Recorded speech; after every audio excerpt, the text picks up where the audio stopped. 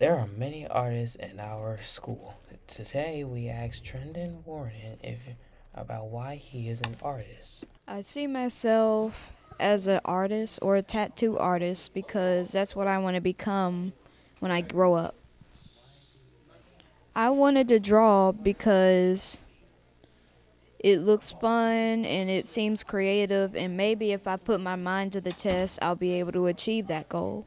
I will always draw art in the future. I always think it would be very important to me because as a young child, I always found this very appreciating and pretty much what it's going to be in my future.